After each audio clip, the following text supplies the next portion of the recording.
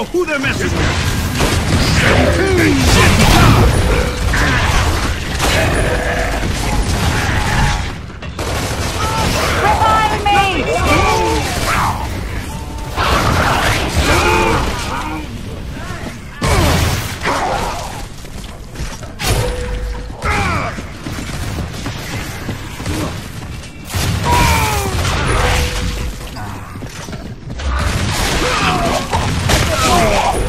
Bitches!